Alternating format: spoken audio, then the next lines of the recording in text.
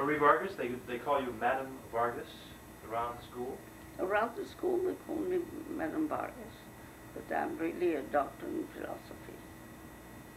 And how did you first hear of Biscayne College? You've been here some Well, 20 I was teaching in Miami High at the time, and O'Melia, Jim O'Melia went to uh, my classes. He attended my classes, and uh, one day he told me about the problem they had in the uh, language department.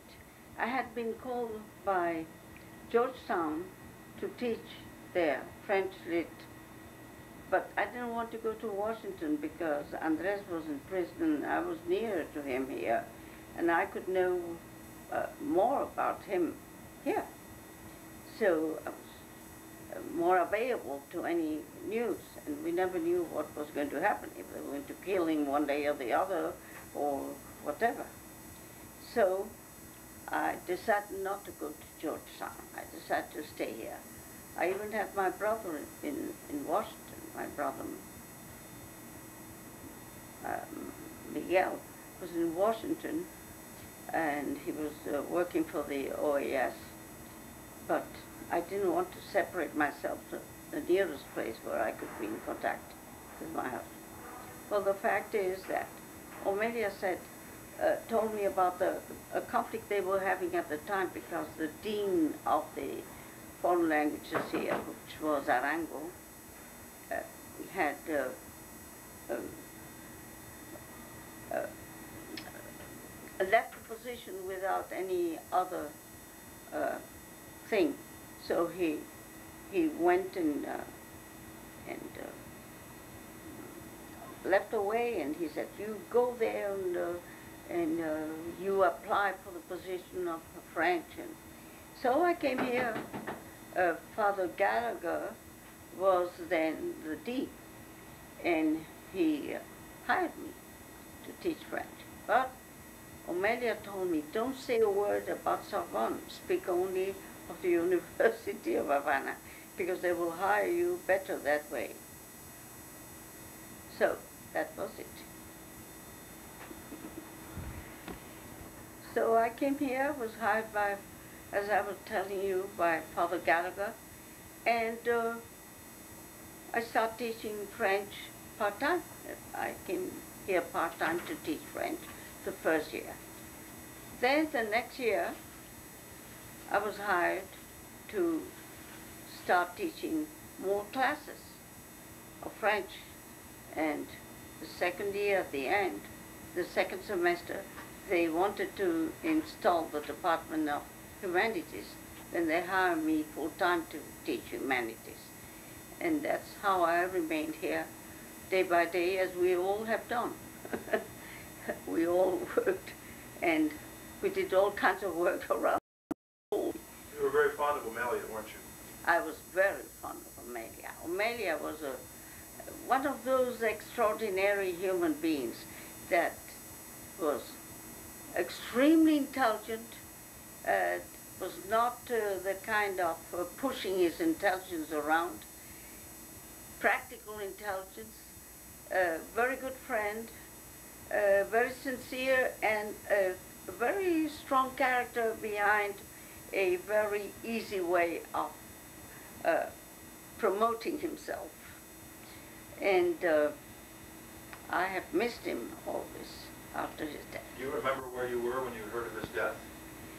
I was, yes, I was in the room here up there where we had uh, the room and I don't like to cry, but I start crying. I start crying, but I didn't want to cry. Then I went to his little place where he used to sit there behind, you know, one of the cubicles. And I took something that he was a pen he was using all the time. And I put it in my drawer because I wanted to keep this thing he had. We had a great affection. I mean, not only myself, but everybody loved O'Melia. He's one of the great uh, imprints of Santo Tomas de Villanueva. uh, in this modern Biscayne College. And we will miss him over. In fact, I always thought that had he been alive, many of the problems we have had lately wouldn't have happened. Because he was a man capable of stabilizing things.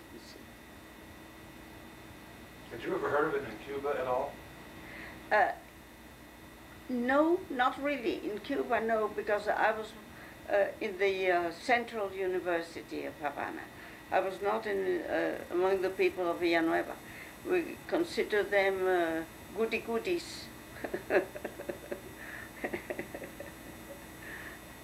They were Catholic, uh, wealthy Catholic kids, who didn't want to be exposed to communism, right? they were not exactly uh, wealthy or more Catholics than some others in the university.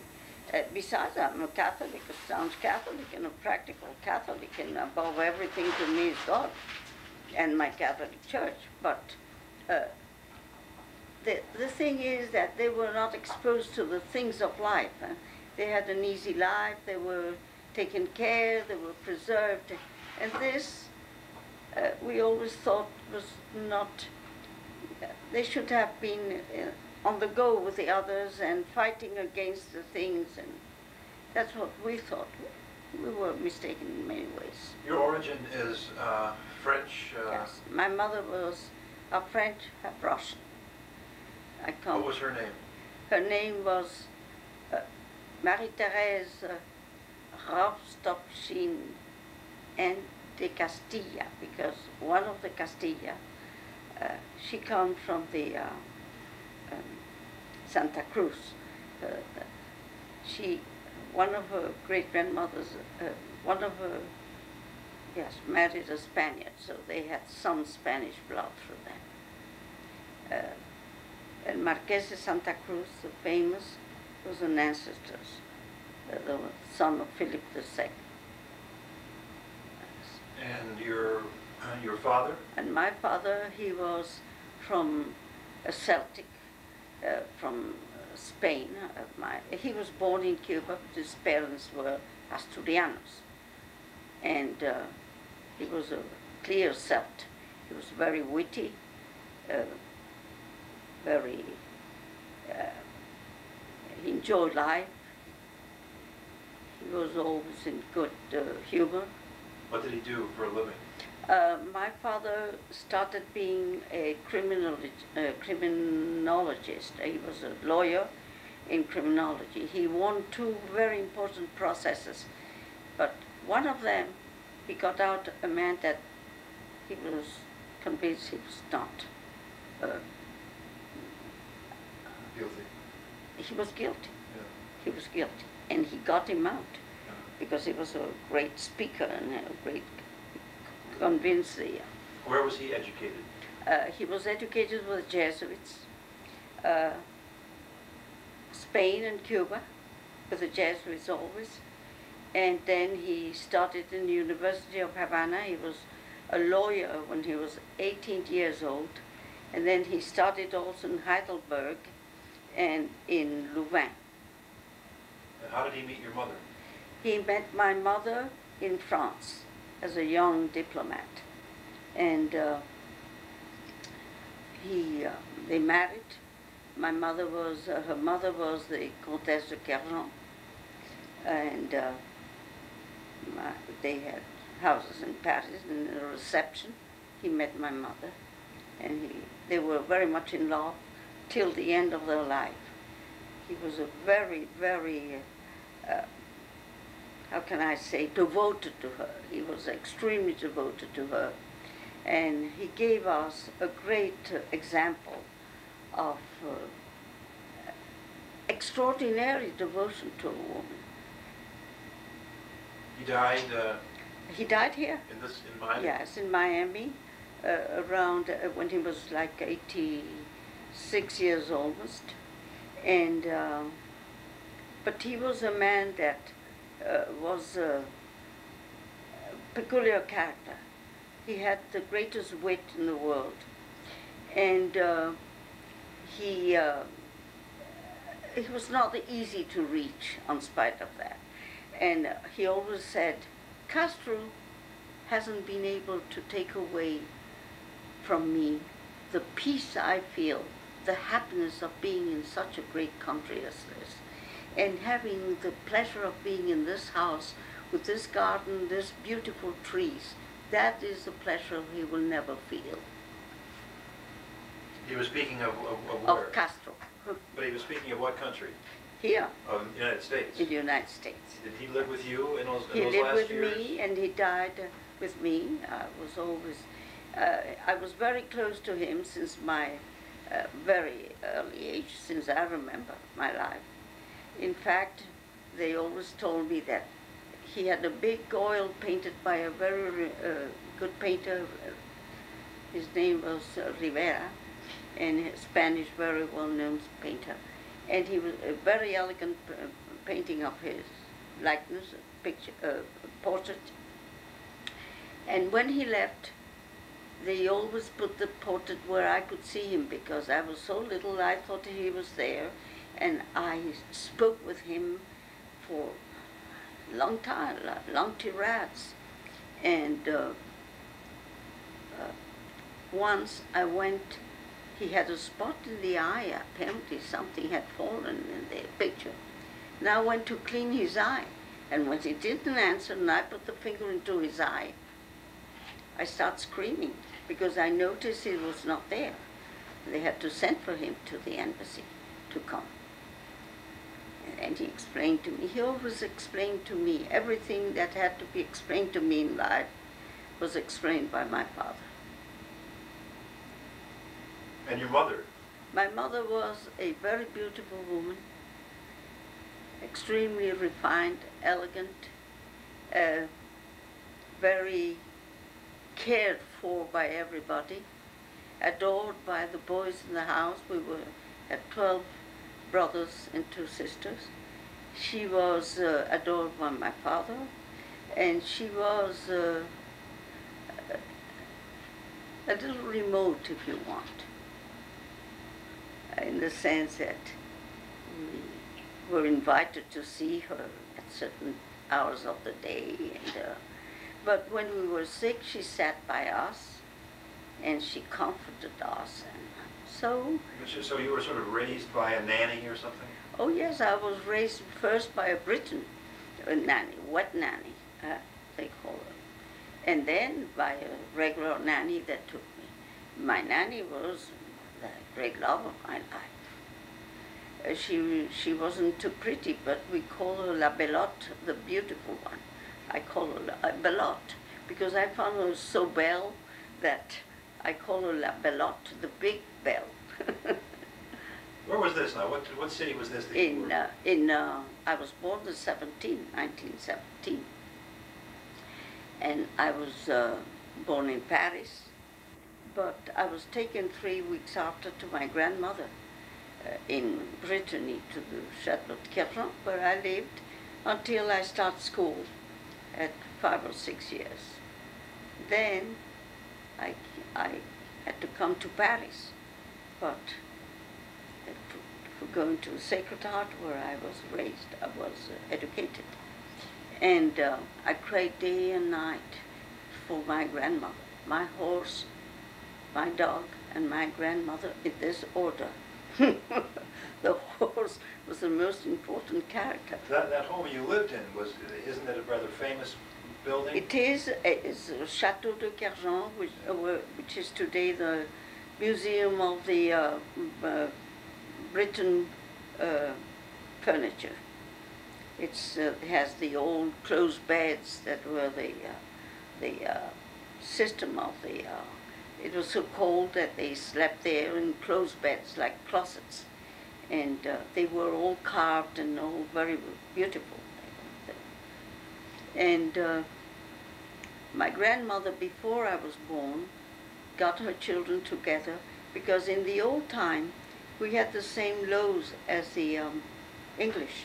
The eldest inherited everything, and he had to provide for everybody. But later we had to join the laws of France, where every child inherits its part equally.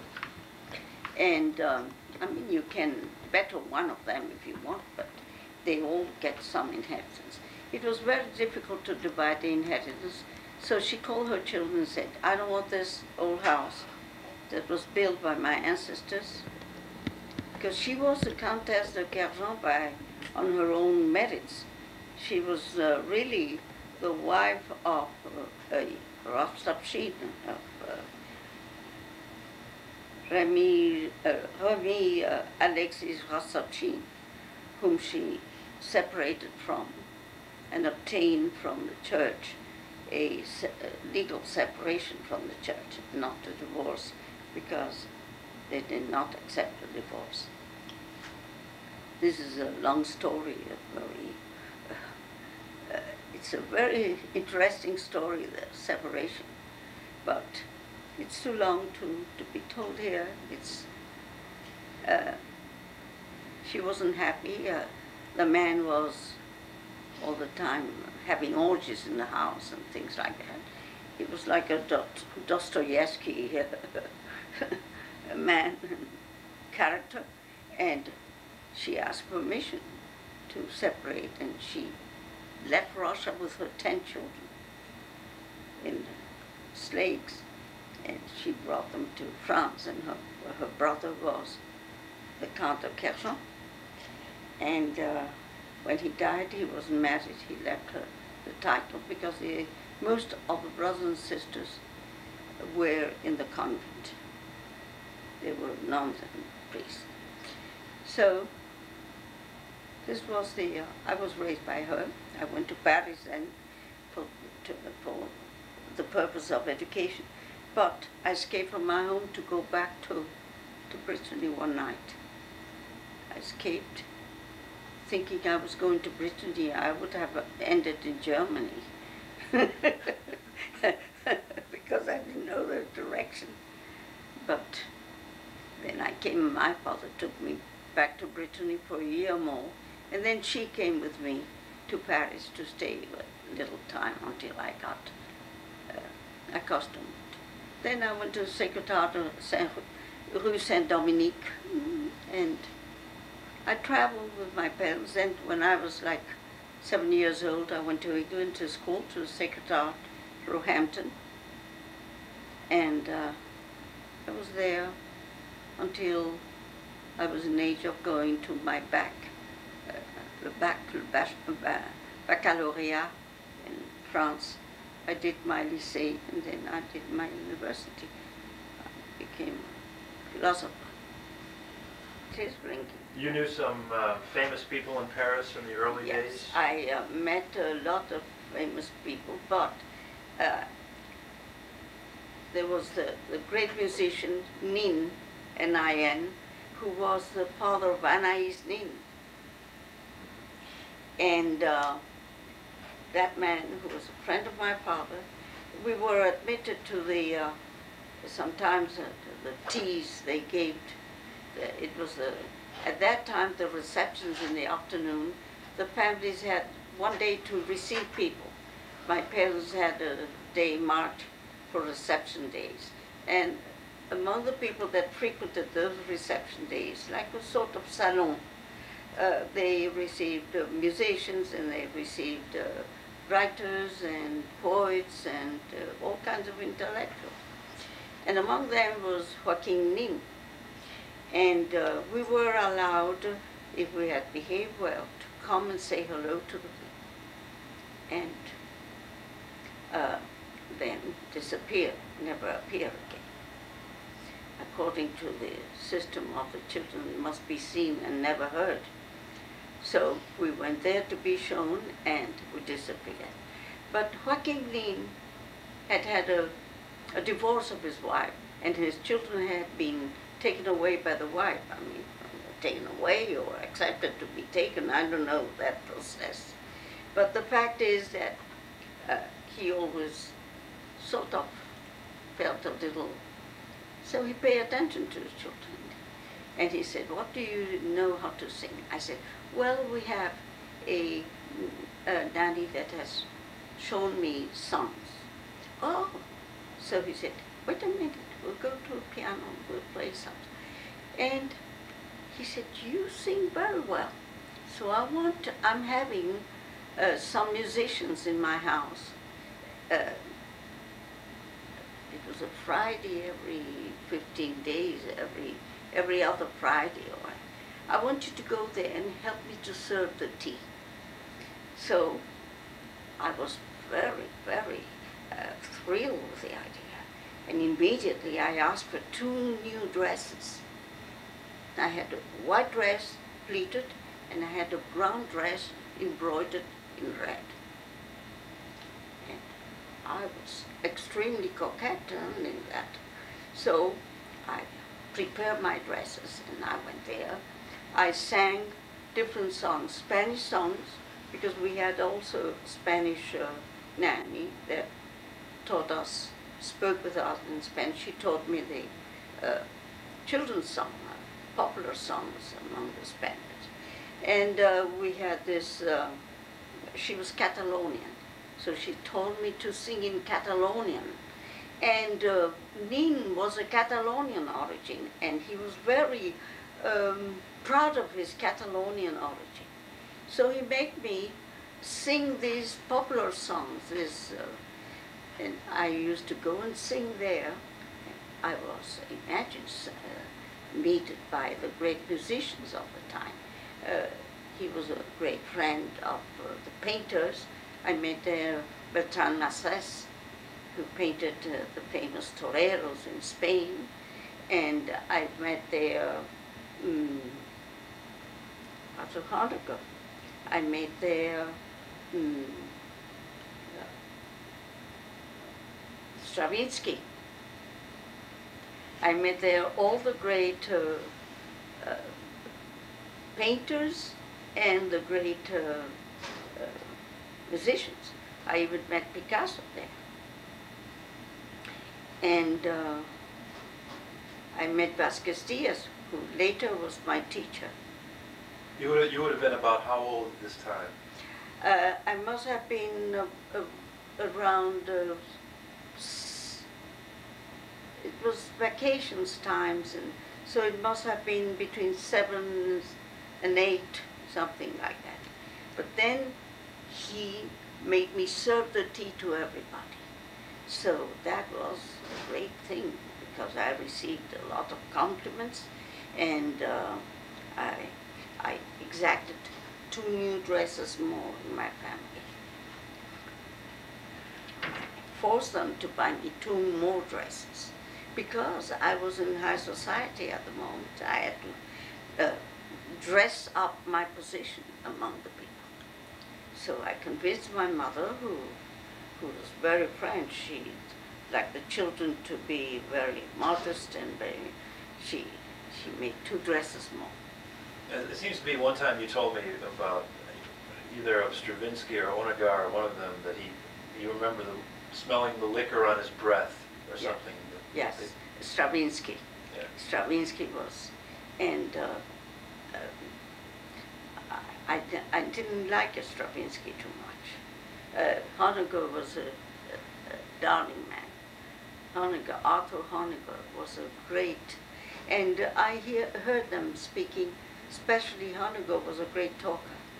Uh, Stravinsky didn't talk too much. Stravinsky was all the time drunk. Sometimes he conducted the orchestras uh, completely, uh, you know, unstable on his feet. Then I saw Stravinsky many years after in Havana, when he went to conduct the Philharmonic uh, Orchestra of Havana. And I found him the same thing, except thinner and older. But the same thing, uh, not holding himself quite straight. But he was a great conductor, on spite of it. He was a great. Uh, one day, uh, he even played the bluebird for me, the, the pájaro. The, uh, I called it the bluebird because I had uh, read the uh, the story of Maeterlinck, which was looking for the bird of happiness, the bluebird. And I made a relation with the, uh, bird of Stravinsky and the bird of Maeterlinck. So then you were in Paris, uh, this was about the time when Hemingway was there, uh, uh, Ezra Pound, James Joyce, and Uh, Gertrude Stein had her, Gertrude Stein, I uh, met. Rue de Fleur, she had her apartment Yes. there. Uh, I met Wanda Landowska. The harpsichordist. Yes, the harpsichordist. She was a friend of my father, and my father used to take me there. She was very uh, flirty. She wore very loose clothes, and she sat to the uh, um, harpsichord like a butterfly, just posing herself on a flower. And she was a, a very, uh, and uh, she, uh, said, you should learn how to play the harpsichord. And I said, I don't want to play the harpsichord. I want to paint. And she says, you're mistaken. I said, yes, but I want to be mistaken. She was very, uh, very, like uh,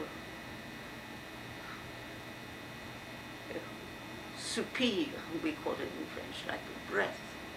She very tall, thin.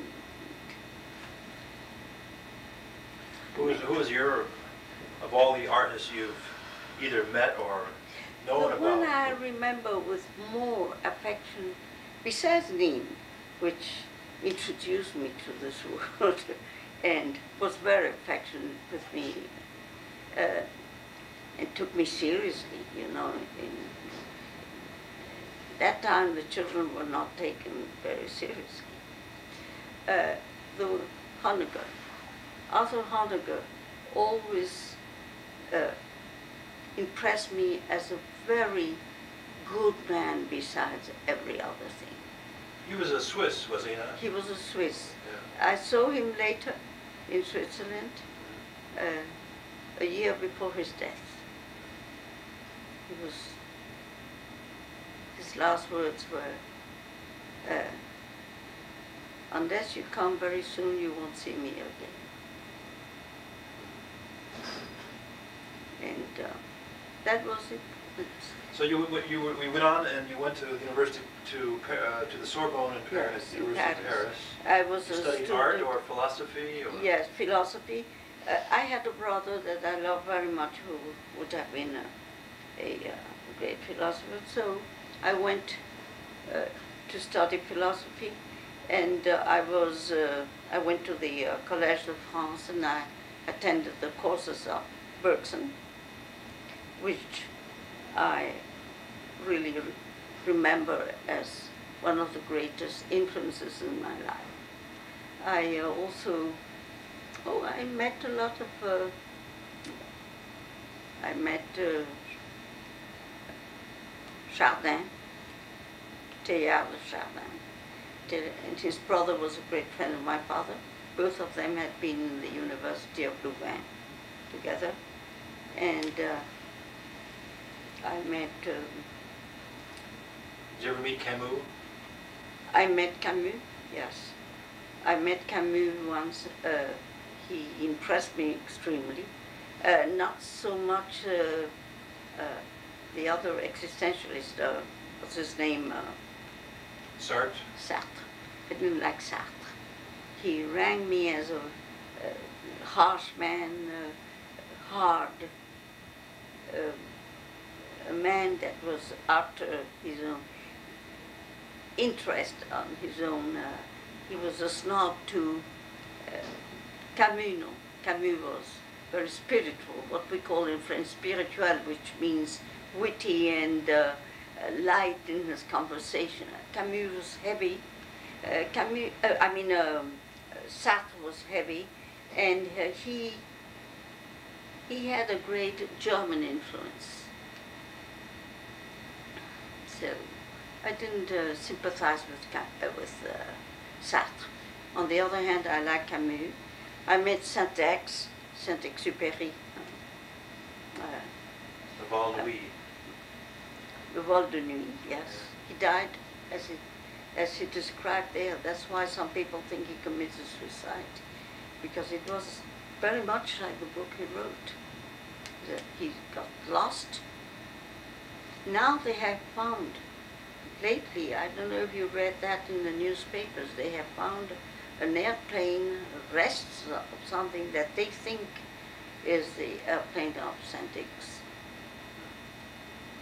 So it's, uh, Magnificent.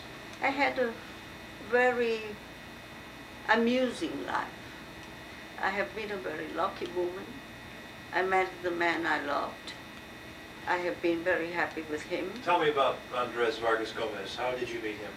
I met him in Paris when I was very young. Then we met again, and later we decided to get married, and uh, we have been like already forty something, almost fifty years, more than fifty years.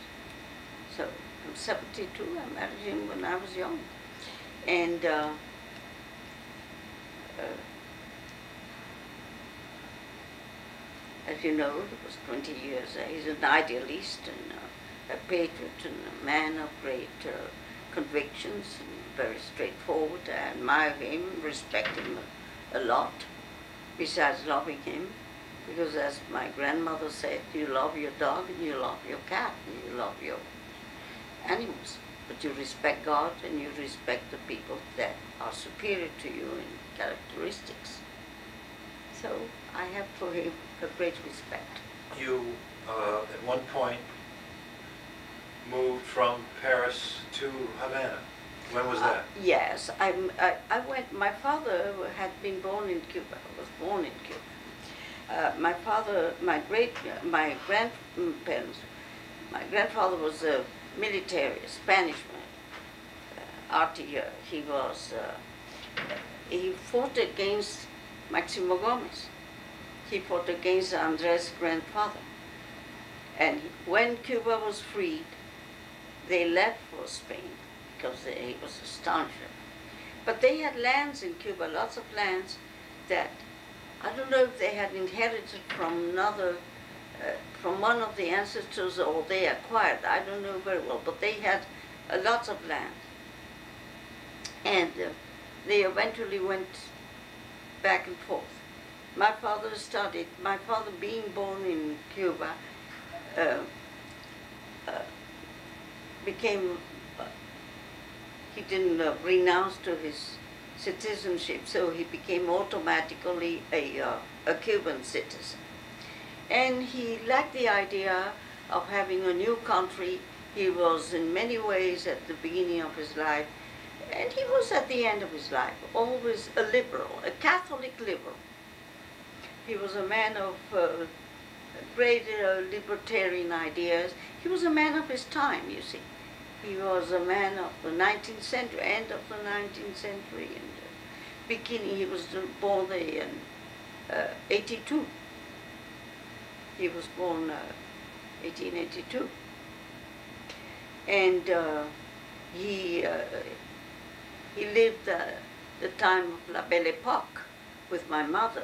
They went for their, uh, for their uh, honeymoon to Austria and uh, to Italy and regular people taking a wedding trip and they always look at the at each other when they spoke about those countries and they had a secret internal life between them both and uh, the blue Danube and all these uh, things. But, it was a poetical union, my father and my mother. And uh, he liked to, he graduated uh, in the University of Havana. Then he went back and he was a very well-known lawyer. He started his life as a journalist uh, when he started writing in the newspapers and then he uh, became a criminal lawyer. And he, as I was telling you at the beginning, he uh, earned this, proce- this process, this, uh, and uh, he didn't like the idea of defending guilty people. Uh, he was a very, uh, he was not a solemn man, but he was a very pure man in his ideas very straightforward. He was never solemn, not even in his virtues.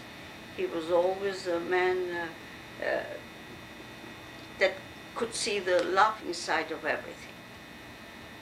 And uh, he, at the time, the republic was young, and they appointed him as an undersecretary in the uh, legation. They were not embassies yet of Paris. There he met my mother. He, he, they were wealthy people, both on both sides, so they could marry and raise a family. He became immediately prominent in his career. He was immediately ascended, uh, given a, a secretary, uh, first secretary, and charge d'affaires, minister, and ambassador. We're, in- now we're in, in Cuba now. Uh, no, no, in, in Europe. We lived in Europe. You lived in did. Europe? Yes, we lived in Europe. Uh, he went uh, sometimes to Cuba, but we remain in France. So when he was, you say he was an ambassador, Uh, he, from where to where? From what uh, country to he what? was he was an ambassador to Japan. He was an ambassador to Representing Spain. France, Yeah, no, no, Cuba. representing Cuba. Cuba. He, my mother was a French one. He was half Spanish, uh, and his mother had some, something of French. Uh, But uh, he was a Spaniard uh, by birth, I mean, uh, and a Cuban by birth. He was born in Cuba when it was still Spaniard. But uh, when Cuba was free, those that did not say no became automatically, the born there became automatically Cubans. So he took that advantage to live in Cuba. He, he loved a young country and a young idea, and, uh, and he, uh, he went there. They, he was very uh, happy and as I tell you, he was a remarkable wit, you know, a real. Uh, when I read Bernard Shaw, in many ways he was not as witty. He really had this uh, thinking is he saw always the laughing th- part of things and he, he made uh, anthological phrases about the people. He had two or three uh, people with whom he didn't get along and he ridiculed them just with one or two phrases. he put them in, in uh, he had always the remarkable answer to everything. And Like his daughter. well, no, not so much. I'm a little shadow of what he was. He was a remarkable intelligence. Well, I I wanted you to to tell me where you have lived. In other words, you grew up in, essentially in France, Paris, England, and after Paris, you England, lived in England. England. I lived in uh, Holland. Now, you, are you married at this point? No, no, no. I, it was my infancy. Still studying? Yes, studying. Yes. And after, but, In but Spain. after you graduated from the, the Sorbonne, Yes. where Uh, did you it live was then? after the war, dear, because it was interrupted. Our graduations were interrupted by the war. Uh-huh. And uh, I lived after I got married. I lived in uh, Switzerland constantly, in Geneva, because uh, Andres was a, a, uh, a uh, It was with the, delegate, uh, the head of the the ambassador to the GATT, to the uh, to all the United Nations European organizations. I was myself You knew the Beau Rivage, did you? the Beau Rivage, yes. Lausanne? It was a very uh, swanky hotel at the time. Yeah. Now it is a sort of uh, gone uh, passé, huh? the Beau Rivage. Uh, the uh, Russie was a great hotel, which today it isn't. Uh, the You went to a lot of parties, I'm sure. oh yes, that is You've known great highs and great lows. I mean, you've known great wealth and, and great excitement, and you've known the, o- the other extreme as Well, well. I came as a refugee here. Uh, I went through the war, which I considered I had to fight for my country. And then after that, uh, things were happy again.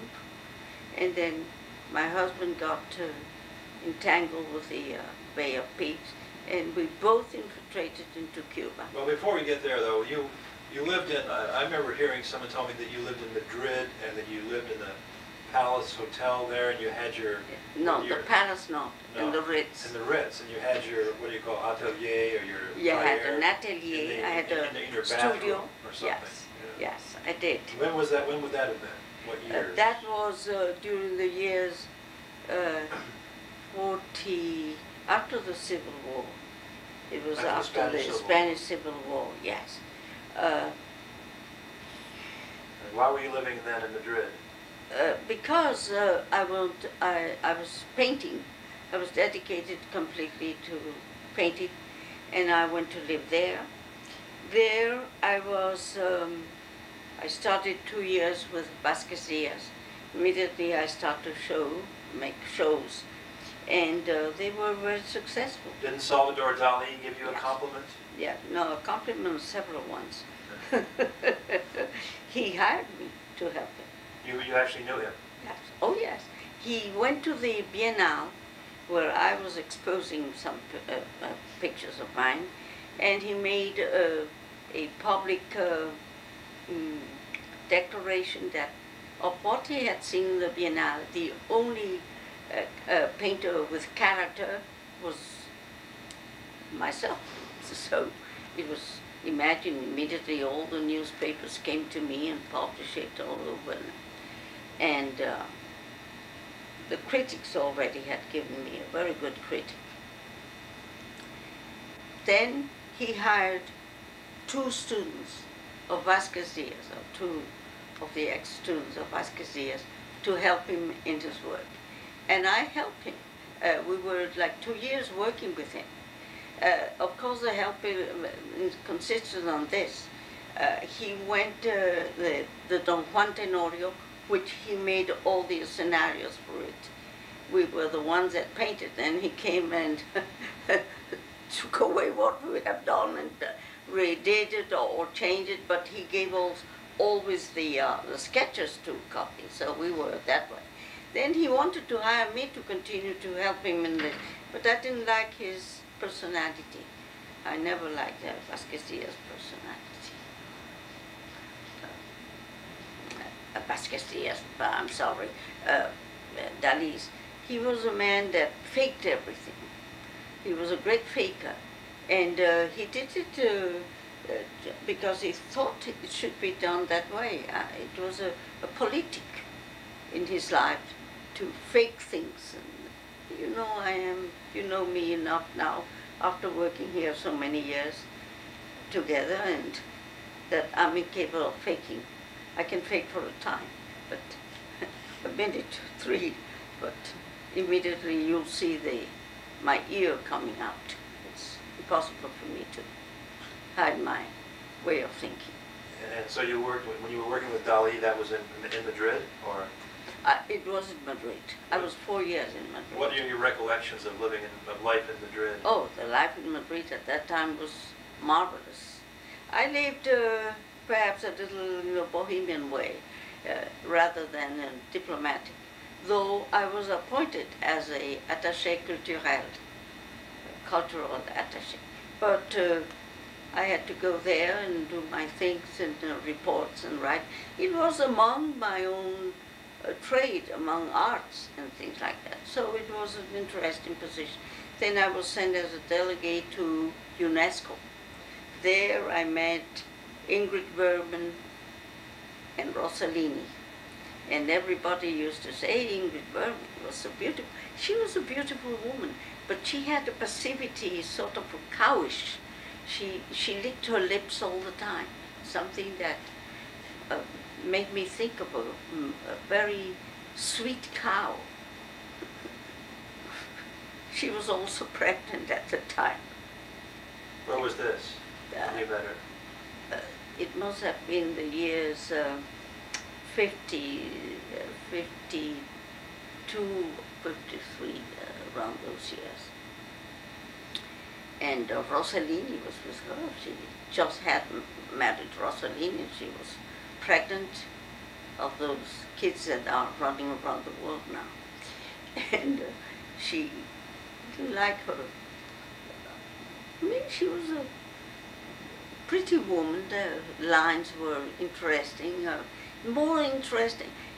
less interesting than really beautiful, what you call pretty, uh, but not exactly. Uh, I met uh, Blasetti, the great uh, director. I met uh, uh, the, the the other Italian who is very famous too. Uh, what's his name? Uh, Zeffirelli or? no, no, it's not. Uh, an, uh, more an older one. Uh, uh, the, uh, who did the uh, Rossellini did the uh, the the um, the one who bicycle thief. Oh, yeah. Oh, well, Mark would know upstairs. Yes. So, Well, In any case, uh, educates. so tell me when you moved from Europe to, to Cuba. Well, uh, my father had moved to Cuba more steadily uh, because he was appointed Minister of States.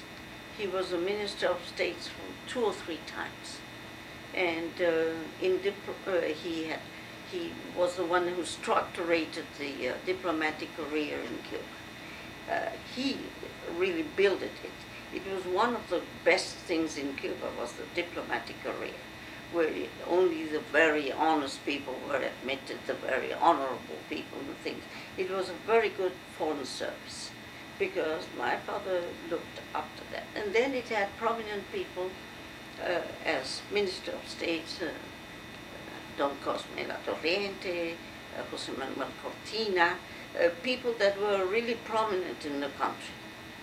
So it was a minister, a ministry that kept uh, very, very uh, separated from the political things. By the way, before, before we go to Cuba, during the war, the war years, you were in, uh, in Paris. in Paris during the war years. Yes, Do you remember, for instance, when Hitler came to Paris? Uh, no, I went after. Uh, you mean his visit? His visit, yes. he visited oh, one, yes, he yes. visited one no, day. no, no, I thought invasion. No, no, he actually visited one day. No, I remember, yes, I remember. But uh, you see, what I remember, I was very much in the underground.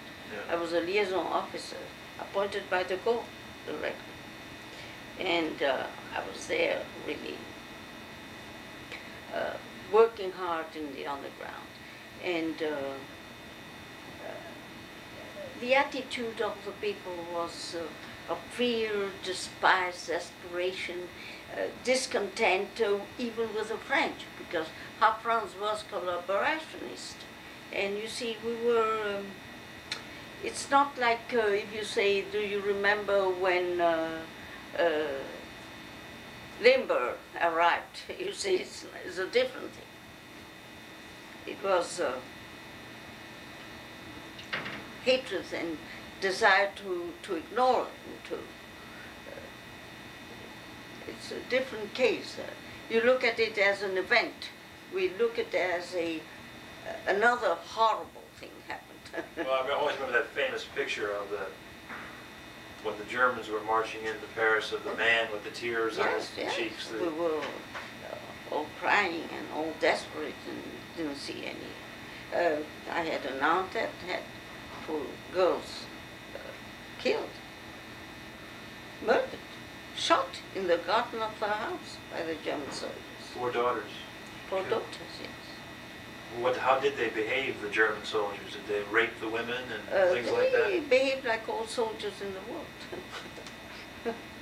the rapism, the drinking of all our wine, which was a sort of rape of everybody, and the, uh, the uh, you know, they they went into our cellars and took away everything we had, and they, and then they tried to take away uh, our works of art, which incredibly were saved by that strategy of getting the train to go around and around and they thought they were going to Germany and they changed the names of the station. This is they did a picture of that, but it's it's a it's a fact. They changed the names of the stations. It was a, a thing of the resistance. And uh, they never got, got out of France. they came back. So was something. Then I went to Cuba because I wasn't there the last uh, day, uh, the last year of the war. I was Oh, in Cuba. that's when you moved to Cuba. I had to because uh, I was already known. So they uh, put me in charge of getting places for the uh, wounded soldiers in convalescent places. The Americans wouldn't admit them here, the French soldiers. Roosevelt had an arrangement with the Russians and he didn't want anybody, they, he didn't want de Gaulle to, to be anything and he tried to ignore de Gaulle Huh. and uh, they wouldn't even give us a camp for getting the convalescent soldiers. So we had to go to Santo Domingo where we got from all people Trujillo uh, camp.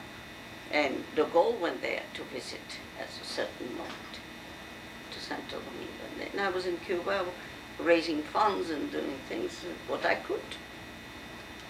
So then, from then on, you lived in Cuba until, until, uh, yes, because my father was appointed Minister of States again. Then my mother died at 52. I had to accompany my father. I became my father's hostess. Then my father was appointed as a, as a uh, ambassador to Washington. So he was here five years. And I came with him to install the embassy and to do to be his hostess. And then my sister came because I had to go with my husband to, to Switzerland. So that was, so you lived in Switzerland in the, this would be late forties or early fifties? uh, yes, in the late 50s.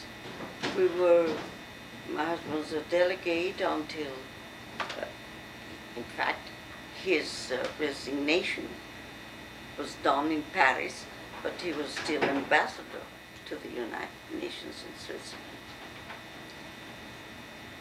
So you weren't, you were not living really in Cuba when Fidel Castro was in the Sierra Maestras?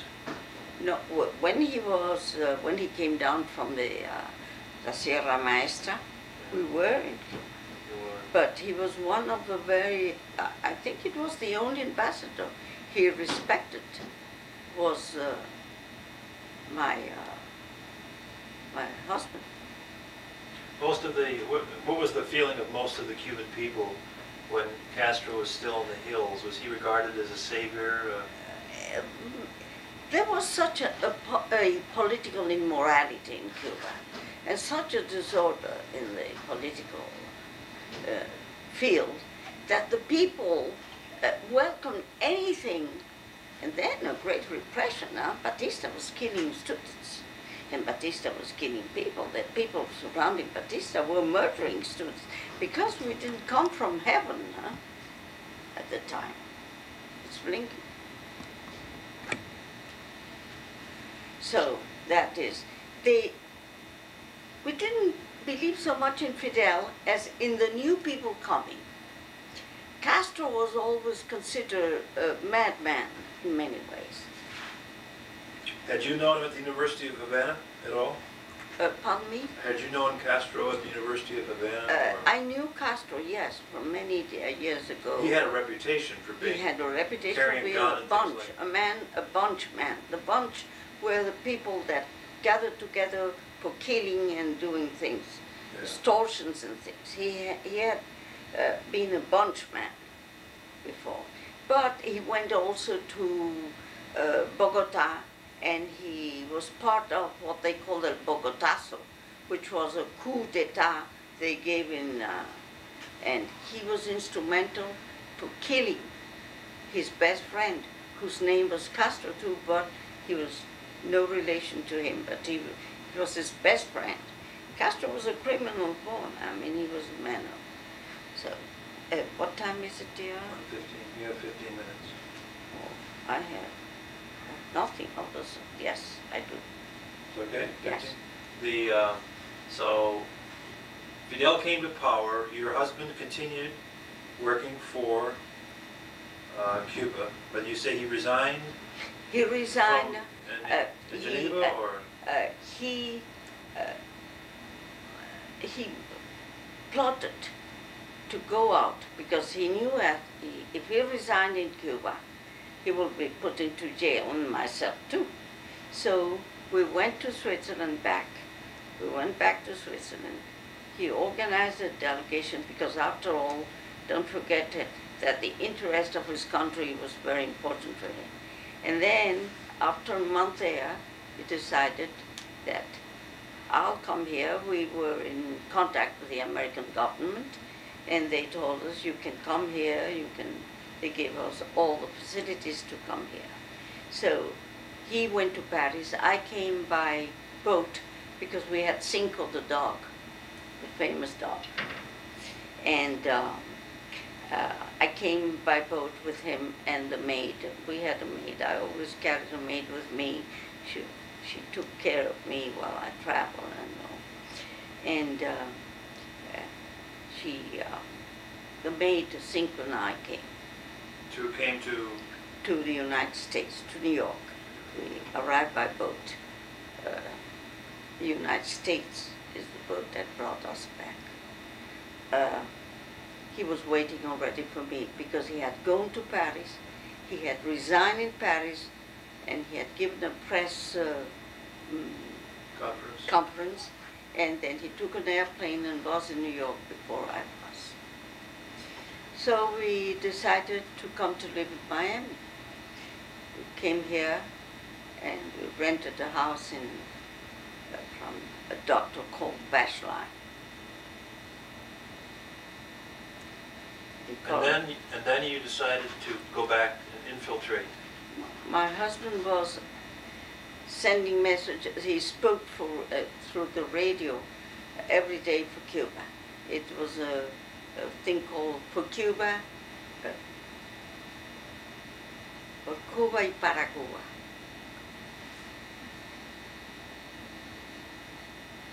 And uh, it was a radio. It was transmitted, retransmitted by Radio Swan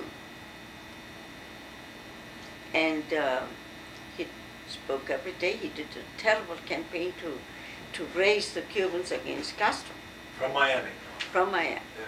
But then he was uh, the kind of person that thought that it was very comfortable to raise the people from Miami. And he decided to go a time before Bay of Pigs. He was in the, in the conspira- uh, conspiration of Bay of Pigs. He went as a civil, and I went with him. We infiltrated in a boat of 20, uh, 23 feet. We went all over the place, and uh, it was a fishing boat. And uh, first thing I had to do when I reached Cuba, after sneaking in the under the eyes of all the milicianos guarding the coast and all that, under the fish, all over me fish, and over my husband. We had to take showers, and uh, three, four, five showers to take away the smell of fish we had on top of us. So uh, we um, we went to Cuba to prepare the Bay of Pigs. And we traveled from one place to the other. Who did you, who were you traveling as? Were you in disguise or? Uh, uh, we went in disguise. And we uh, invented new names and new, not disguised physically. He Andres uh, dyed his hair because Andres has uh, white hair since he was very very young. Uh, not so white as now, but uh, he had and more than he has now, more hair.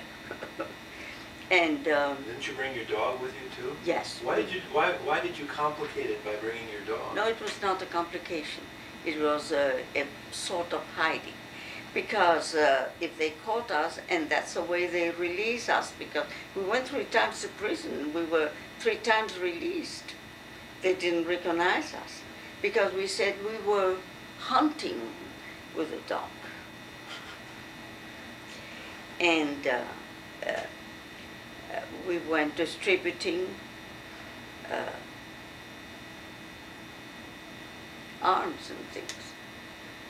You were setting up the Bay of Pigs. Yes. and uh, raising the people, and they agree.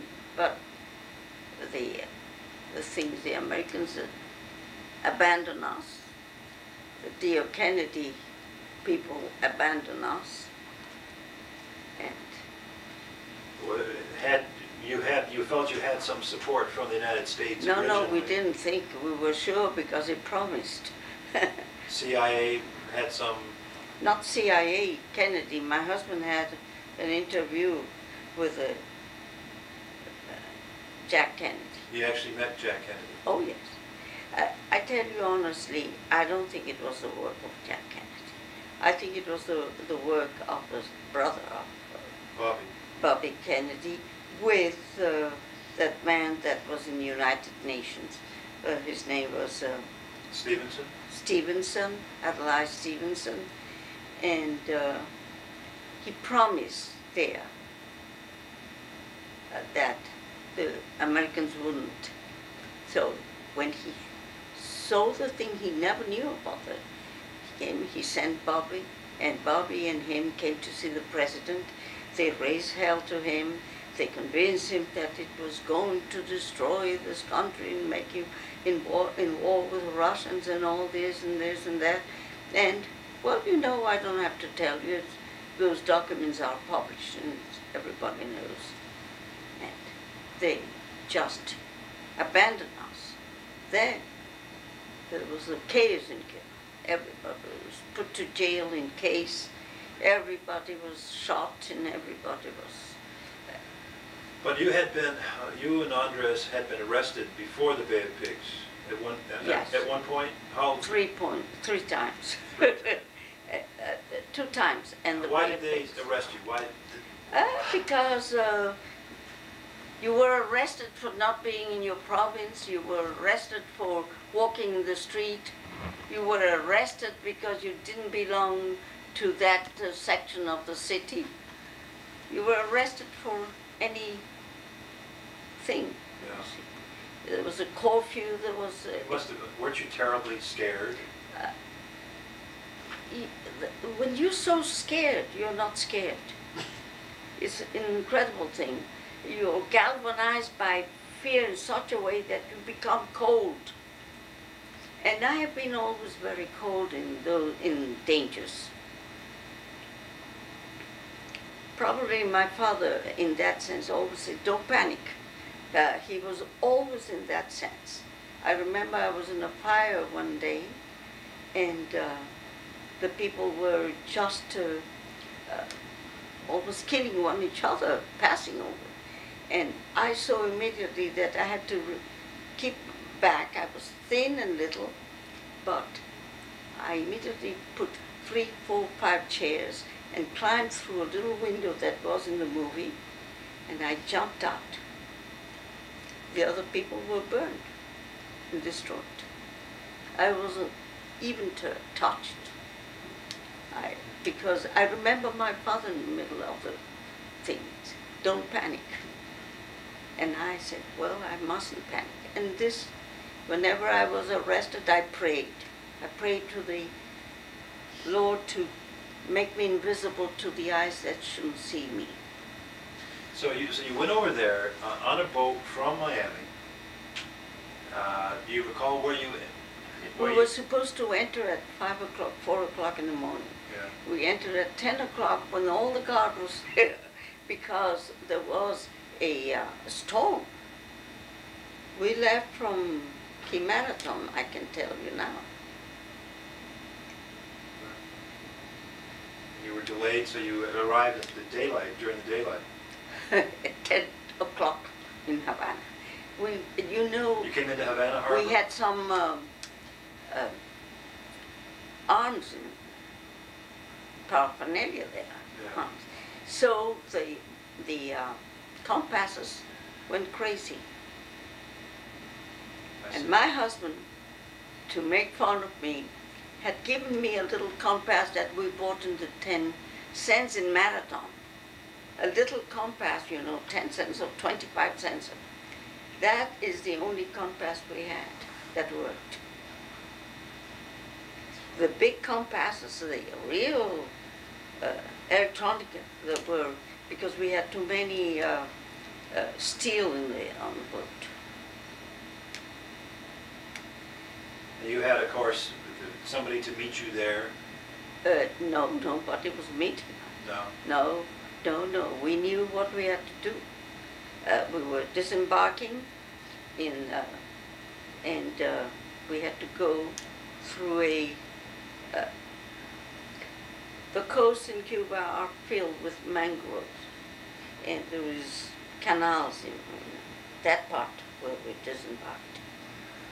And uh, I don't say where it was because it's still used and uh, we were going to contact there through the canals some man who was waiting for us. And so we did. We were five in the boat. The only woman, of course, was this one. And So you then did your work for some, with a few interruptions, being arrested for some weeks? Oh, we worked in the underground, going here, yes, we did work. But we were taken prisoners uh, a little time after. But we were released because there was in the famous thea- uh, theater Blanquita, where there were Father uh, McCarthy was there Under arrest? under arrest. When he entered, the people start applauding, and the militians start shooting with the metrallettes. And you were held there? I was there. I was there for a week. Then they released me. In this theater? It was a movie theater? Yeah, movie theater. The you- people did did everything there in the middle of the theater. It was the smell, the stench, the horror, the urines and everything. Uh, you were filled up to here. A week without food, without anything. I had provided myself with two, and then they separated Andres from me. They sat Andres in a place and me in another, but I could see him. I never took my eyes from him because I said, if we'll recognize him, he wouldn't be even taken, they will shoot him there.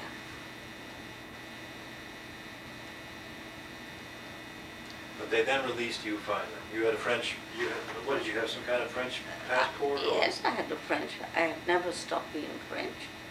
And uh, uh, we Where was the dog in the meantime?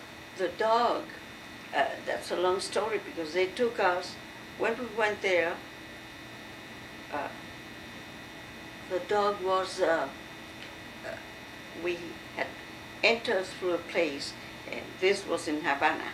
So we were taken there as a prisoner, and I brought the dog into Havana with me. The miliciano that brought us wanted to take the dog away. They liked the dog. And I convinced the man that, you see, don't take the dog. Well, he said, I was praying all the time. Oh, praying. That's my great help in life, in every place, in every situation. And uh, they asked me, uh, the, the miliciano was called on the phone for a quick thing. So he said, I'll come after to take the dog. I said, okay. Well, that time, I convinced a miliciano, another miliciano, you see, this dog is bothering me now. We were hunting, but now I have a lady, a rich lady, that wants to buy the dog. She lives here around, and if you can uh, let me telephone her, she'll give me fifteen dollars for the dog. And you see, I'm, I was posing as a seamstress. so I convinced him, compañero, please let me get those fifteen dollars because it will help me here to buy food and this. Uh, of course, the man took a little pity of me and let me. I called my cousin, and I said, "Uh, "The Mrs. Uh, so I am Maria, your your seamstress." and you, uh, I have the dog with they by now this part of the family knew that we had disembarked and all that. So she immediately said, okay, I'll give you the fifteen dollars, don't worry, but uh, can uh, I said, you come here, we'll bargain here, because you see, I would like fifteen dollars. You, uh, no, not thirteen. So the man said, get out of her the fifteen dollars. I said, I'll try to. So I went to the door with the, they let me, I come and she came, she didn't recognize me. Don't you recognize me, Mrs. So-and-so? She said, well, you were the one that made the, uh, because I had said your, your seamstress. You made me, uh, I remember a dress or a, a, uh, a shirt, a skirt. She, I said, exactly. And this is the dog you wanted to buy from me then. So now you can take it. They took the dog, it disappeared with the dog. It was saved. And then immediately they changed me to another prison. There, I think they were starting to suspect because that was the last time it was a, uh, before I had been a prisoner with the uh, with a dog, but there they took they wanted they, they let me get rid of the dog. When I saw the dog the departing, I thank God for it. The dog then, this cousin of mine came here with the children, and the dog they dyed the dog because by that time the dog was on the on the uh, radios and everything. So they dyed the dog in brown. And the dog used to bark to himself in the mirror because he didn't recognize himself. so, and he came as the dog of the children. At that time, they came out, the children came out, and they in and out to, to Cuba. So you wanted me to to speak about Well, we were talking about, uh, by the way, you, you talked about this dog of yours, Cinco, and, um, well didn't, this didn't dog, you, after you gave it to your, your Cousin. cousin, then later you were re- reunited with the dog back in Miami, and when the dog died, yes, didn't the dog. have- Oh, many years after he lived until he was eleven. he lived with you, Yes, he lived with me. Yes. and he died, and you had, how did the dog die? uh, the dog, uh, he was 11 years in these kind of Dalmatians. He was a Dalmatian. Don't live uh, too long, but the fact is that I took him to a stupid vet that gave him uh, four or five shots at the same time. He was old enough and his uh, kidneys failed. There was no way of saving him. And I, I took him to the vet. Then everybody told me I was very uh, selfish, not wanting to leave the dog with the vet, and that he uh, should be there. I used to go and visit him twice every day. And uh, the last day I saw him, I, I went there and he used to go very obediently because uh, I sent him, now we say goodbye, I'll come to see you tomorrow, and uh, don't worry, I'll be here in time. And I spoke to him, he understood me very well.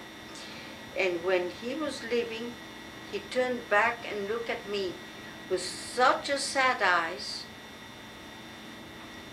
that I was highly shocked. I said, I went to him again, kissed him again, and said, I'll come tomorrow, I promise you. He turned his back and never looked at me and went behind the vet who was taking him to. I never saw him alive again. The next day, I was the in, in the morning. Uh, the the vet told me uh, he's better, so you can come tonight and take him with you. So when they came for me, my daughter came for me. I told her now we're going to go for Cinco because I can pick him up tonight. And I saw that she was evading the answer. I said, "What's the matter?" She said, "Well, you know, I, uh, I don't think you should go to." I said, "Cinco's dead." So she said, "Yes, he died." You imagine? I was sunk into the deep sea of anguish because to me Cinco was Cinco, but it was a great link with my husband too. We had this dog that we have raised. Uh, he traveled all Europe with us. He used to go to the mountains with us, climb the mountains with us. uh, he used to do whatever we did. We used to take him to restaurants. He sat in a chair and waited for his pâté. And uh, very amusing. He used to travel between my husband and I in the car, uh, lying there. Sometimes my husband was carried away by the beauty of the landscape, and he used to tell me, "Mira, mira," which means look, look. And the first one that got up and looked was the dog. He always looked at it. It was a, a trait on him, very amusing, very. Uh, uh, so uh, he was so attached to me that uh, he slept with me there, next to me in my bed. And the loss of the dog, I used to sometimes speak to the students about the dog. So that morning I came and you know, I'm not uh, uh, subject to any kind of showing uh, things, uh, sense of showing sadness. uh, But the students said, Well, how is the dog today? I said, Well, listen, I'm going to tell you something. The dog is dead. Let's not speak anymore about the dog, ever. When I'm ready to speak about him, I will tell you. But I cannot speak about him anymore because I didn't want to go cry. I cry very seldom, but the, I couldn't help crying for the there. And it's a very peculiar thing. Every time I speak of him, I feel I have lost something extremely attached to my heart. It's uh, years haven't dimmed down the anguish I felt when he died. Uh, with him, uh, sort of, I felt the hopes I had for seeing my husband again and uh, to recouping uh, the country, our house, our things, our souvenirs of all our life uh, was sinking with him. Uh, everything sank with him. So it was uh, uh, the love of an animal you have uh, uh, praised, but also the love of a great friend you have lost. You see, it was to me, uh, and still, I still feel the. I never wanted to have a dog again. How did you come by the dog originally? The dog, my brother, mm, Michel, uh, Miguel, had a, a very pure breed of Dalmatians. Uh, he was a dog, they, uh, they claim that this kind of dog only comes out in the very pure uh, breeds. Uh, he was what they call liver spot.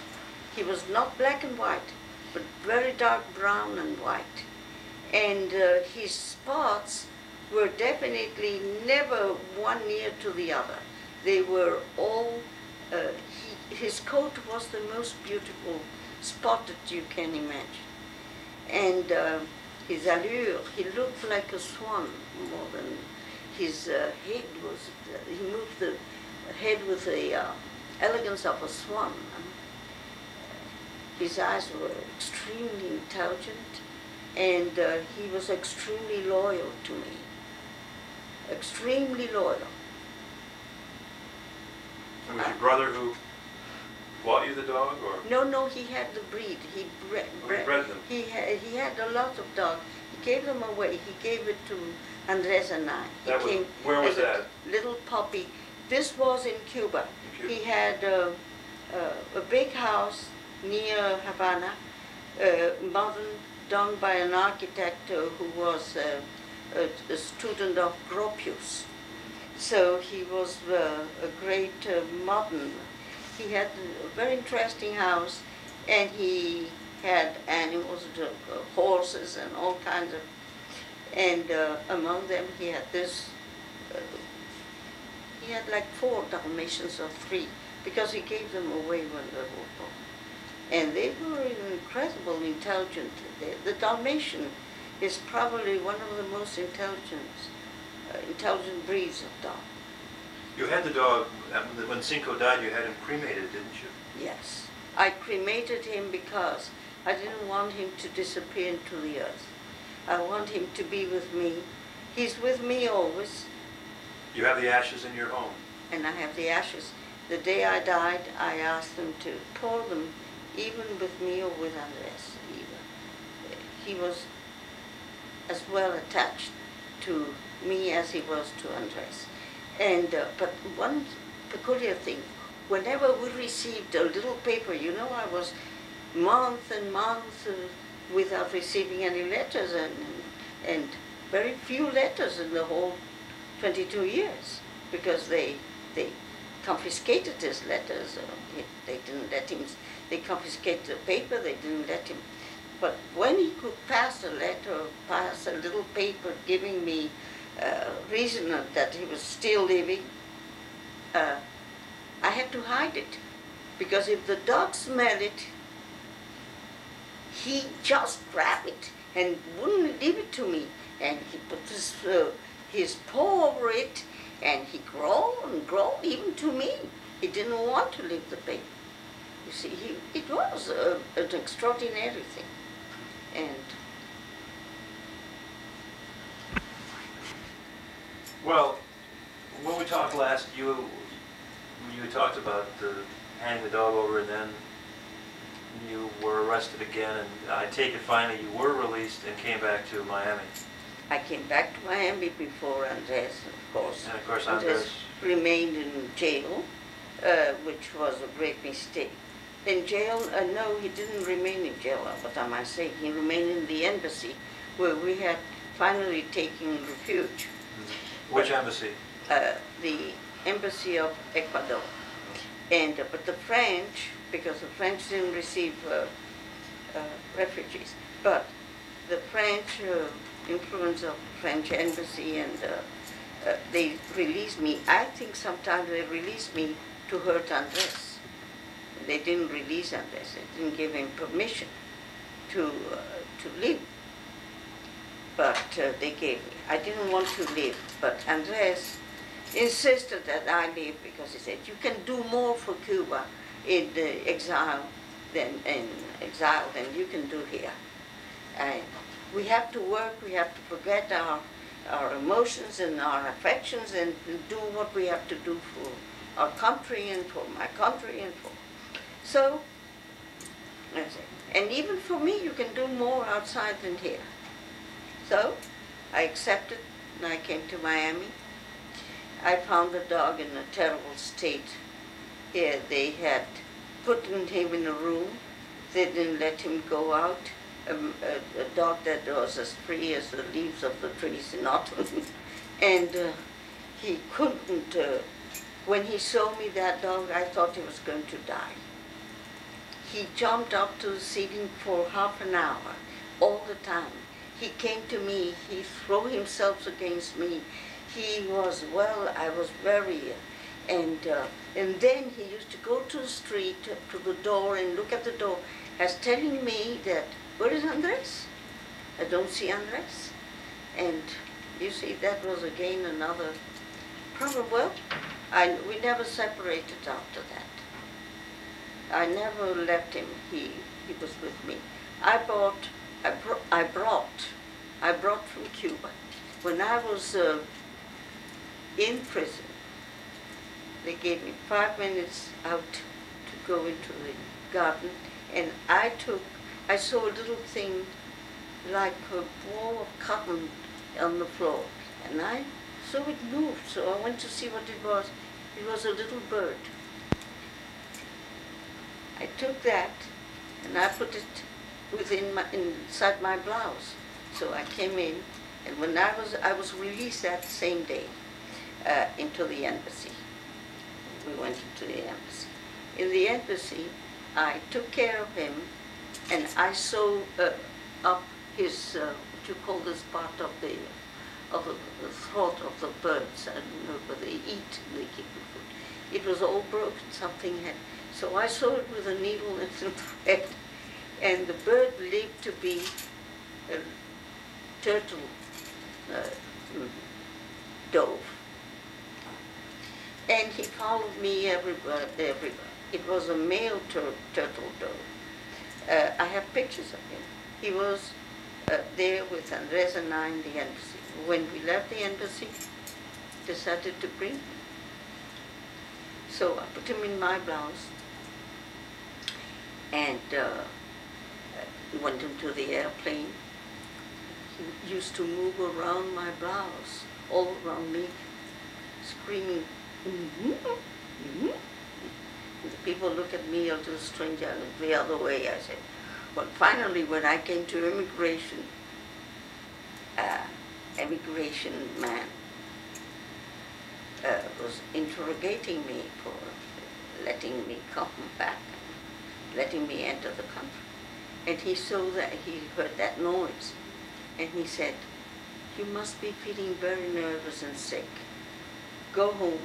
I'm going to let you go with, to your house here, because I had told him I had a house here. I lived then in Westchester. And uh, this is the compassion uh, of that man. I said, well, listen, I'll go home, but I have this bird. It's forbidden by the laws of the I said, but this bird was with me jail, and this bird was with me all the time. And my husband and I raised. He said, okay, don't worry. We're going to see a doctor, one of the uh, experts in animals here. You go home now. Comes down a minute, he'll see the bird. You take the bird home, and Wednesday when you come, you bring again the bird so they can go for him to see he doesn't have any sickness or anything because that is why they don't let birds enter here unless they have a quarantine. But they kept in a quarantine home the bird and they let me take the bird home. Well, the bird was with me like six months. I called him uh, after St. Francis. I called him Francisco, but I called him Panchito because that's the name the Cubans gave to the, uh, the Spanish gave to the uh, Francis Pancho. So I called him Panchito. When Panchito was about six months here, he and Cinco at the beginning were a little hostile one with the other, but hostilities stopped when I called Cinco and said, you cannot do that, this bird, and explained to him, you cannot persecute the bird. They ended by Panchito sleeping on Cinco's head. And sometimes he picked Cinco, and Cinco looked at him as saying, this nuisance they have imposed on me. But he never did anything to it. So they were, but Panchito grew and there were other birds around and he showed me he wanted to go out. So I let him go out and he disappeared. Like a certain time after, he appears with a mate and little birds. And I took all of them and fed them and took them. When I moved to Coral Gables, I took them with me and showed them where I was, and I released them. They remained there, and uh, for years and years, and they had more birds, and it, they had suddenly all kinds of turtle doves, and there still are turtle doves. Now Panchito probably one day didn't come anymore, uh, but this was like 10 years after, or 12. So animals have been a great part of my life. You, you mentioned earlier that one of your great fondnesses as a child was your horse. Did you ride horses? I rode horses all my life. I even jumped uh-huh. officially for the, uh, uh, the for France into uh, contests around in Italy and Spain and different countries all that is lost because those were my pictures, my cuttings of the uh, of papers. Like most of the art critique about my uh, paintings has. That was lost in your what? In your home in Cuba. In Cuba, It didn't. Uh, there were personal things that they took away and destroyed. So that is in essence. Uh, when then I survived those years, exile, my father died. Uh, the 67. The year I came here. So for, to- yeah, all the years that I knew you, of course, we knew that your husband was in jail. He was in various prisons in Cuba for 22 years. Yes, different prisons. And you spent, the time you weren't teaching, you spent trying to get him out. Yes. Many interesting, All the time, doing everything. I was, um, uh, one night, I was called by Ambassador Smith, the one who had been, uh, he was a friend of ours, he and his wife Florence. And uh, he said, Marie, can you be very early here tomorrow? It was uh, in Palm Beach, West Palm Beach. I knew him money. Uh, To raise the money to go to West Palm Beach was something. I didn't have money. I was just teaching here, teaching there, and it's scarcely because I had with me my old father, my uh, niece, is, uh, the, the, the daughter and the son of my uh, sister, and uh, the daughter of one of my brothers. All these people live with me, and my father was offered a uh, to give him something. Uh, you know, they give the refugees. He refused. he refused because he thought that was receiving money from a foreign country. And though he was very uh, grateful to be here, but he had been ambassador in the United States, and he didn't think it was correct to receive, while he was not an American citizen, he should not receive money because they needed the money for the people in the country, not for uh, foreigners. Was a very strict uh, matters of honesty, ethics, and all. Uh, before I forget, I was a diplomat, I was a, a, uh, delegate to United Nations. I received two uh, sort of, uh, how can I say this, uh, um, uh, compliments from the, one from the English government and one from the, um, uh, from Australia. Uh, because uh, they, about something in the, in the matter that came out there, and I defended the, the point and they thought it was very well defended.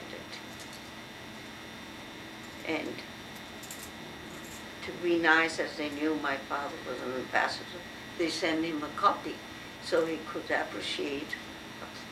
And uh, when uh, I came to him and said, did you receive the, he said, yes, and I compliment you on your work because it is, uh, shows that you have worked very well. But I'm going to give you an advice as an old diplomat. Try never to receive compliments of foreign countries for your act, act, attitude, because that means that you have served their interests and not the, those of your own country. So he was a very careful person. so Ambassador Smith invited you up to Palm Beach. Yes, Ambassador Smith invited me that day to Beach. Well, I have to raise the money, get out of my house at four o'clock in the morning, and see how I could walk to the downtown. Uh, there was no buses at that time. I couldn't afford to have a taxi, so I had to walk down to downtown to the uh, mm, place where the buses departed for uh, mm, Palm Beach. Reach Palm Beach there. I had to take another bus to go to the uh, West Palm Beach, which is the. I arrived there, and uh, I was received immediately by Florence. She was such a darling, Florence Smith. She died now. She, they told me she committed suicide. I don't know. I've never been able to verify the fact. Well, the fact is that uh, he told me that he came, you know, the uh, Bob Kennedy, which is the Attorney General, is going to be here with me today. Now I want you to present his case to them to see if they can do something to get your husband out of jail. So I was delighted. He went inside and uh, I, I stayed in the terrace they had that faced the sea with Florence talking. Suddenly, a small boat with a young man, which I recognized immediately as Bob Kennedy, barefoot, dressed in uh, uh, sailing attire, white pant, t-shirt, comes in there. I, Florence, it goes inside. After a time, a very elegant butler, servant, very elegantly dressed, comes and says, uh, Ambassador Smith wants you to go to his uh, office. So Florence said, good luck, Marie. So I went there. And I see Ambassador Smith comes to the door to greet me. He takes me, offers me a chair. Well, this time there is a young man looking through a window and giving me his back. The legs are open, his feet, are course, bare. And uh, uh, Ambassador Smith tells me, this gentleman, which is very near to the Attorney General, very close to the Attorney, uh, wants you to tell him uh, about what happened with your husband. So I told them that we have to, I told them the story. I was a little shocked that the young man didn't even turn his face, didn't even say hello. He, I was not presented, to, uh, uh, introduced to him. He was not introduced to me, rather. And uh, uh, you see, uh, we were among diplomats. My husband was still an ambassador or whatever. Uh, I was the daughter of an ambassador, and I was the wife of an ambassador. I was myself in the diplomatic career. I was not, I was not an ambassador, but I had a position. I was a delegate to the United Nations, and uh, they had no right of treating me what I thought was highly discord, discourteous. But I didn't want to make an issue. My, the safety of my husband was above everything. I knew it was him. I knew who the person was. So, uh, he said, I told the story the shortest way I could. And then, without turning his face, he addresses the uh, Ambassador Smith and he tells him, uh, this, uh, tell this lady to present a letter telling uh, the uh, government of the United States that president or any other minister of states telling them that the Americans have uh, put the, her, her husband into Cuba. Therefore, the Americans should get him out of Cuba in some way or the other. I so read there. I got very angry, and I said to the ambassador, Ambassador, will you tell this gentleman who is so near or so close to the Attorney General, President. to the Attorney General, because that's the way I see. he had been told. I said, will you tell him that my husband was not pushed by the Americans to do his duty towards his, uh, his country, that he doesn't need to be pushed to do it. And the Americans didn't even, in fact, the CIA opposed him to go. And he went on spite of everything. So I'm not writing a letter in those terms. if the president and this gentleman who is so near the attorney general, who happens to be the brother of the president, if they want to do something for my husband, they know the story now.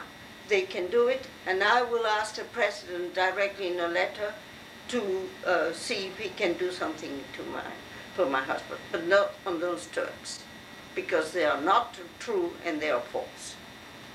So I came out of the room and said goodbye. He said, You know, you should not get excited. I'm not excited. Is this discourtesy? Uh, I have never spoken to anybody. Uh, of course, he hasn't spoken to me, but still, I have never received messages in this way. Well, if he, if they can do something for my husband, then I. Uh, mm, Frances was there, and she met me. She, what happened? I said, well, your husband will tell you. I went home. Went home. Very upset. It's the first time. You see, I had never been in contact with discourtesy in my life. Uh, because for social reasons, I was born in an ambience where the people are courteous. And when my husband came and I told him the story, he being a lawyer and being a man of great reflection, made some explanations for that attitude that I did not understand. He says, my husband said that perhaps he didn't want to be responsible as himself to face me. And that's why, so I could never say, he faced me, he told me, he promised, he, he did, and uh, so that he, I said, well, they should have not seen me then. But Andres says, well, you know, the official people, the Americans especially, have their own ways of not wanting to get compromised. A Latin would have probably given you the face, would have even invited you to see it, ask you how you felt and all this. But this man was up to the thing, up to the point, and he uh, thought she can never say she spoke to me, she can never say I did, I said. So probably after years, when Andres came, he told me that. And probably that was the cause. But I really had, was so hurt uh, with the whole family.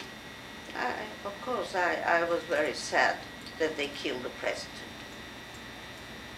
I wasn't so sad when they killed him because I didn't have any sympathy for him, but it, anyway, it was a murder.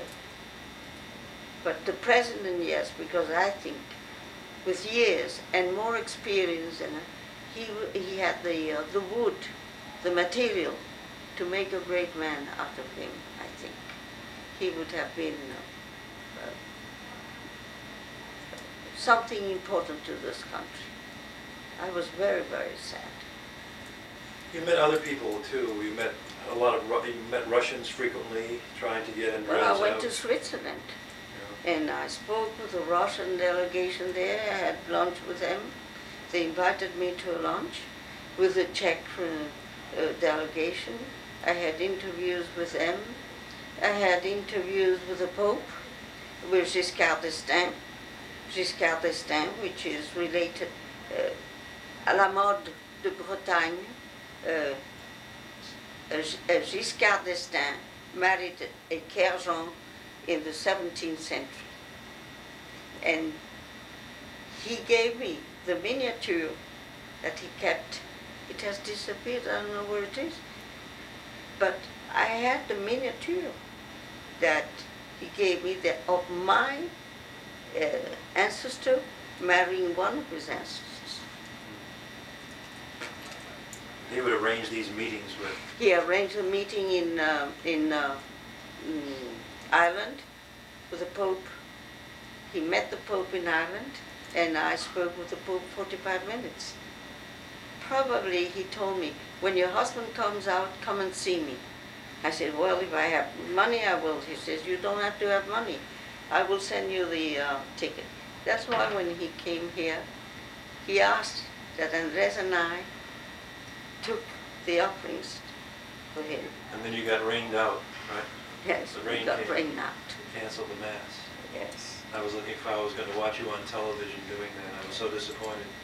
Well, that was, he was very, uh, he, he said he was going to pray for him and that he had the hunch that he will return to me. And he did. Andres came back. Those were long years for you. uh, Very you were- long. And, and of course, even financial difficulties, having known a wealthy lifestyle. I remember for a while there, you, you had no phone, no telephone. No telephone. I couldn't, uh, uh, uh, well, I did have at the beginning, but with the calls to Cuba and all this, I, I, I got- a great, uh, I mean, a great uh, account, so I had to be paying the account and I couldn't reinstall my telephone. I couldn't reinstall it. I was like six months or more without any telephone and uh, no air condition, of course. And uh, so, once I was a month without light because I couldn't afford. It was with candles. Uh, the only money entry to my house was my salary, and I had people to take care. of. On the other hand, I had a chauffeur because it was my old chauffeur that came here, and he and his wife lived with me, uh, and they didn't want to leave me. So it was uh, years of Did you, did you think during that time, did you ever have any second thoughts about that adventure to Cuba? You- Did you ever, ever think you could have had a very nice life with Andres had you not decided to be No, because, uh, you see, I was raised in the patriotic aspect of things. And I always admired Andres for being able to uh, just to give up everything for the sake of his country. It is. Uh, so I never thought about those things because I respect Andres for what he did. I don't uh, pass my personal uh, welfare or happiness over to me. Uh, I'm patriotic. And finally, what, after occasional letters from him and you would get word and, Well, finally, I must say that they announced he was coming. And uh, as you very well know, I didn't believe it because several times it was announced. When they released uh, Huber Matos and all that, uh, they announced that Vargas Gomez uh, was coming, but he never. So I didn't believe. Two or three times, you remember, they said the possibility. And I didn't, I went even to teach that day. I didn't think he was coming. And you and Zarela, as you remember, were the ones, in fact, I always, Zarela had been my student. I always had a great affection for Zarela. But after that, I feel in debt to Zarela. Uh, and to you, of course, because you were very attentive with all the things of Andres and you collected whatever spoke about him and you kept it for me. And I'm really uh, grateful for those years of companionship and affection that you and O'Melia and other teachers here, very few, but Dr. Jacobstein, Record, Chitwood, but they came later. At the beginning, it was only you and uh, uh, O'Melia.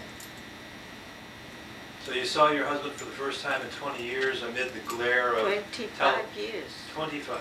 25 because we had been um, separated before um, a year, uh, almost, no, uh, 22 years of prison, Yeah. of prison, plus a year and a half that he was retained in Cuba without letting him come. yeah. It was 25 years. And of course, all the television, it was four in the morning, and all the television cameras and hundreds of Well, reporters.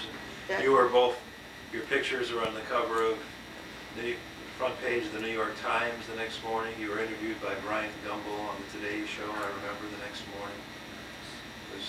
Uh, Catshot once made a, a trip here to, but I didn't want to say anything because I, I thought I could uh, really hurt my husband more than help. And uh, I couldn't lie. I had to say, I say that what was true, he would have been again put into. Now, you know, he used to publish things while he was in jail and send them here, not to me, but outside, to people outside, because he was afraid I suppressed them.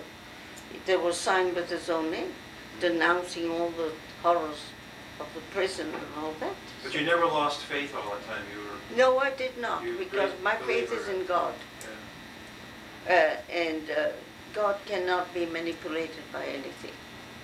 So then suddenly you went from, from poverty almost to, to, Well- to going to the White House. and Yes, being You, received you by met Reagan a couple of times. Being, you? you know, they wanted to give the, the award of the best teacher of the United States that year, but I couldn't receive it because I was not an American citizen.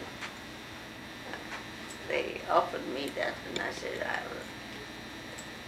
But you were certainly celebrities Well, for, I and you don't. still are. Yeah, well, And of course, that, that lasted, that joy lasted for a couple of years, and then you had a, a bit of an interruption with your accident. yes, the accident was, but in the middle of the accident, I always remember that he was back, and that kept me uh, thanking God for my accident, because I always think that life is a succession of happy events and unfortunately events.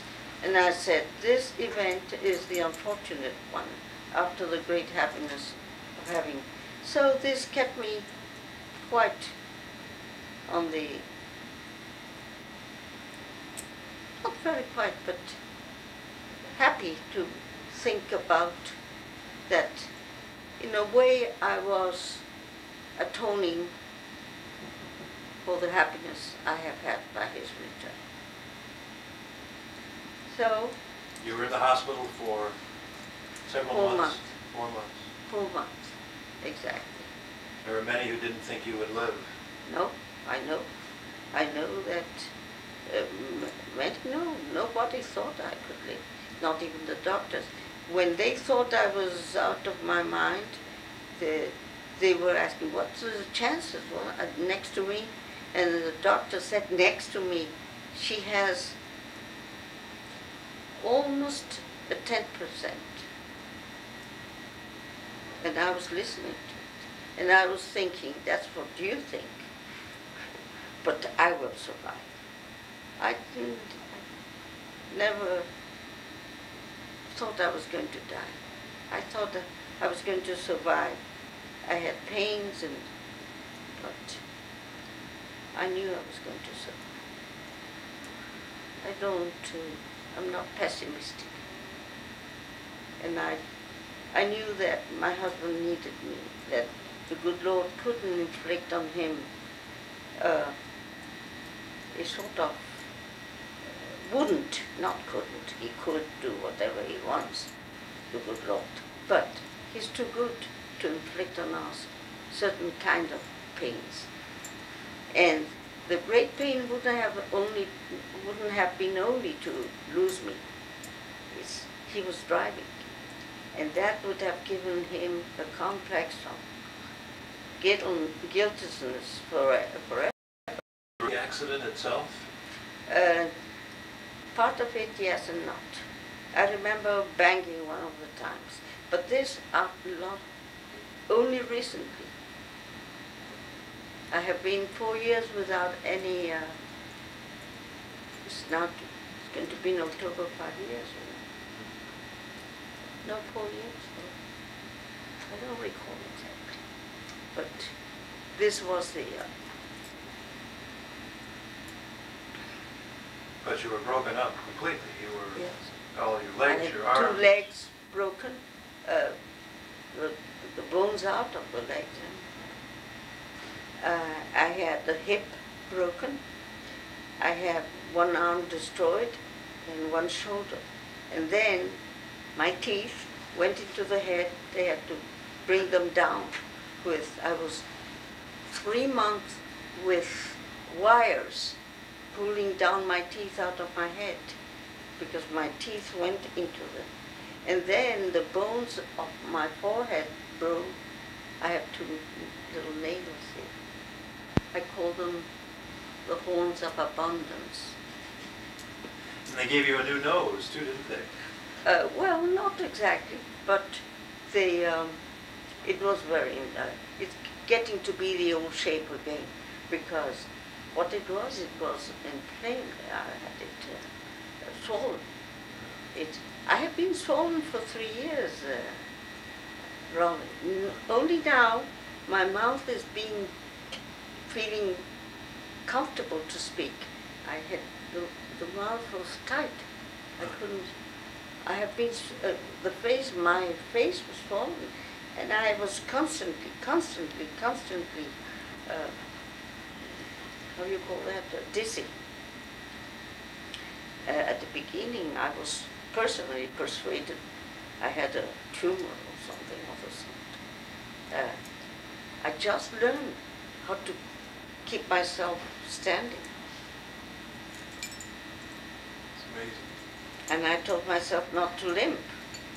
And uh, not at least too much. I limp a little yet. You had to learn how to use your hand. I noticed. Well, therapy. I can, I can, no therapy. The therapy is myself. I just forced the hand to work. And I prayed. hmm?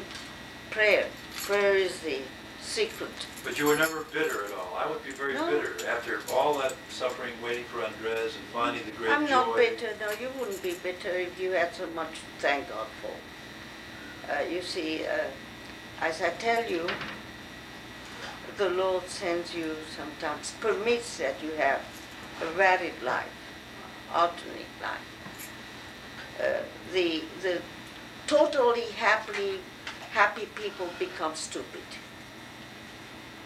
Really. After 22 years here at St. Thomas University, Biscayne College formerly, and all of your experiences, are you you optimistic about the future of the I'm earth? very optimistic because I can see through my students what is going to be the United States. In spite of what they say about youth, I can see a great affection in them, uh, a great um, tenderness, I would say, and a country that has those feelings and that they, I see honesty, I see certain very good traits in all these youth a country that has that youth cannot go astray. And this college, I suppose it will be uh, our shelter until the end of our capacities to teach. So I will. I love it. I've been here. Great friends. We have been like a big family.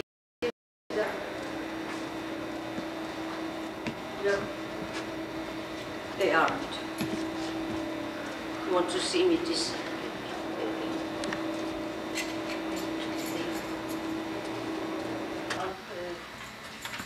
Monsieur Raleigh. No, he's making. So we go to the movies now. Let's go movies.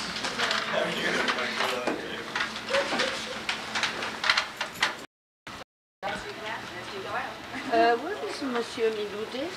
Oh, he's there full of course. No, dear, that shows love. That's right. That is long for you. That's I'm glad you carried everything right. Thanks. This is definitely A material for this class. is the teacher who was picking up her paper. Well,